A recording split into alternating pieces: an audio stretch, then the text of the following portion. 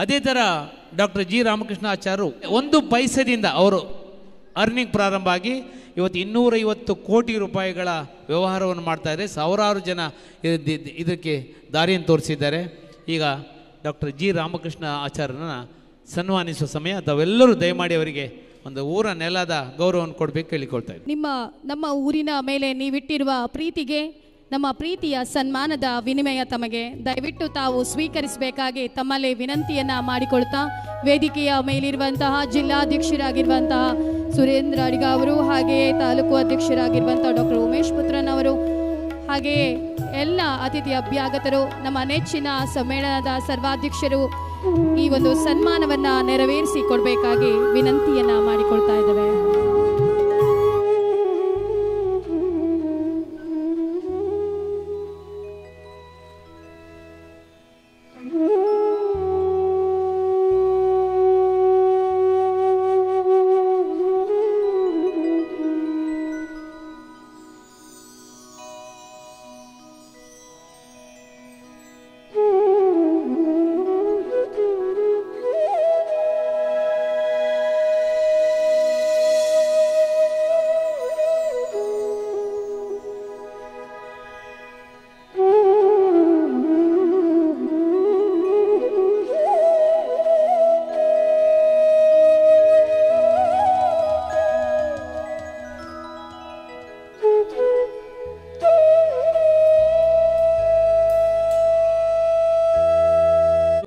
ಆದರಣೀಯರು ಆದಂಥ doctor M V ಕುಲಾಲ್ರವರು ಇವತ್ತು ನಮ್ಮ ಸಾಧಕರ, ಈ ನೆಲದ ಸಾಧಕರ ಸನ್ಮಾನದಲ್ಲಿದ್ದಾರೆ. ಅವರು ಹೆಚ್ಚು ಹೊತ್ತು ಕೂತ್ಕೊಳ್ಳೋಕ್ಕಾಗಲ್ಲ, ಆ ಕಾರಣಗಳಿಂದ ಅವರಿಗೆ ತಾವೆಲ್ಲರೂ ಸೇರಿ ಅವರಿಗೆ ಈ ನೆಲದ ಗೌರವವನ್ನು ಕೊಡಬೇಕು ಅಂಥೇಳಿ ಡಾಕ್ಟರ್ ಎಂ ವಿ ಕುಲಾರನ್ನ ಭಾಳ ಗೌರವದಿಂದ ಆದರಣೀಯ ಆಧಾರದಿಂದ ತಾವು ಬಯಲು ಮಾಡಿಕೊಳ್ತಾ ಇದ್ದೇವೆ ಸರ್. ಅವ್ರ ಮನೆಗೆ ಹೋದಾಗ ಹೇಳ್ತಾ ಇದ್ರು, ಸುಬ್ರಹ್ಮಣ್ಯ ಶೆಟ್ರೆ, ಅವರು ಅವರು ಬಾಲ್ಯದಲ್ಲಿ ತಂದೆ ತಾಯಿಗಳನ್ನು ಕಳ್ಕೊಂಡು ಅವರು ಬದುಕಿದ ರೀತಿ, ಅವರು ಶಿಕ್ಷಣವನ್ನು ನಡೆಸಿಕೊಂಡ ರೀತಿಯನ್ನು ಹೇಳ್ತಾ ಇದ್ದರು ಕುಂದಾಪುರ ಕಂಡ ಅತ್ಯಂತ ಹಿರಿಯ ಪ್ರಸಿದ್ಧ ವೈದ್ಯರು. ತನಗಾಗಿ, ತನ್ನ ಊರಿಗಾಗಿ, ತನ್ನ ಸಮಾಜಕ್ಕಾಗಿ ತುಂಬ ಹೋರಾಟ ಮಾಡಿದವರು. ತಾವೆಲ್ಲ ಅವರಿಗೆ ದೊಡ್ಡ ಚಪ್ಪಾಳಿ ಹೊಡೆದ್ರ ಮೂಲಕ ಡಾಕ್ಟರ್ ಎಂ ಇ ಕುಲಾಲ್ರವನ್ನು ಗೌರವಿಸಬೇಕು ಅಂತ ನಾನು ಕೇಳ್ತೀನಿ ಸಾಧನೆಗಳ ಮೆಟ್ಟಿಲೇರಿ ಏರಿದ ಸಾಧಕರಲ್ಲಿ ಒರ್ವರಾದಂತಹ ವೈದ್ಯಕೀಯ ಲೋಕದ ಅಮೃತದಂತಿರುವಂತಹ ಡಾಕ್ಟರ್ ಎಂ ವಿ ಕುಲಾಲ್ ಅವರ ಪರಿಚಯವನ್ನ ಸಭೆಗೆ ನೀಡಬೇಕಾಗಿ ಸತೀಶ್ ಶೆಟ್ಟಿಗಾರ್ ಅವರಲ್ಲಿ ವಿನಂತಿಯನ್ನ ಮಾಡಿಕೊಳ್ತಾ ಇದ್ದೇವೆ. ವೈದ್ಯಕೀಯ ರಂಗದಲ್ಲಿ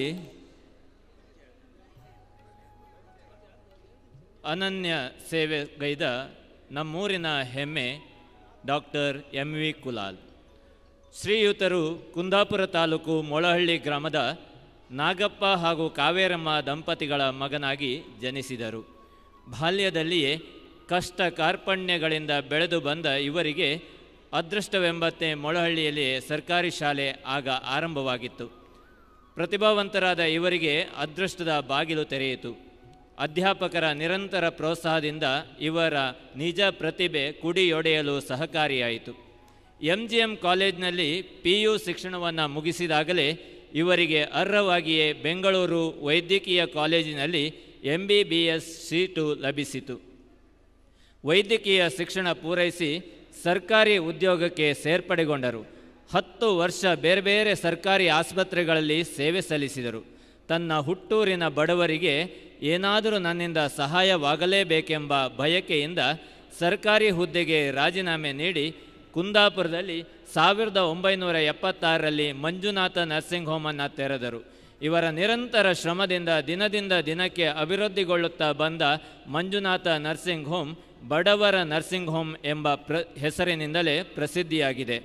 ಬರೇ ವೈದ್ಯಕೀಯ ವೃತ್ತಿಗೆ ಮಾತ್ರ ಸೀಮಿತಗೊಳ್ಳದ ಇವರು ಭೂಮಸೂದೆ ಕಾನೂನಿನಿಂದ ತನ್ನ ಪರಿಸರದಲ್ಲಿ ಹಲ್ಲವ, ಹಲವರು ತಲ್ಲಣಕ್ಕೊಳಗಾದಾಗ ಭೂ ಮಾಲೀಕರಿಗೂ ಹಾಗೂ ರೈತರಿಗೂ ತೊಂದರೆಯಾಗದಂತೆ ಹಲವು ಸಮಸ್ಯೆಯನ್ನು ಪರಿಹರಿಸಿರುತ್ತಾರೆ.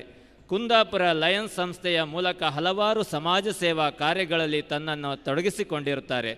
ಕುಂದಾಪುರದ ನೆಹರು ಸ್ಪೋರ್ಟ್ಸ್ ಕ್ಲಬ್ನ ಕಾರ್ಯದರ್ಶಿಯಾಗಿ ಕುಂದಾಪುರಕ್ಕೆ ಸುಸಜ್ಜಿತ ಕ್ರೀಡಾಂಗಣ ನಿರ್ಮಿಸುವಲ್ಲಿ ಶ್ರಮಿಸಿದ್ದಾರೆ. ಐಎಂಎ ಅಧ್ಯಕ್ಷರಾಗಿದ್ದು ಅಲ್ಲಿಯೂ ಉತ್ತಮ ಸಂಘಟಕರೆಂದು ಗುರುತಿಸಿಕೊಂಡಿದ್ದಾರೆ.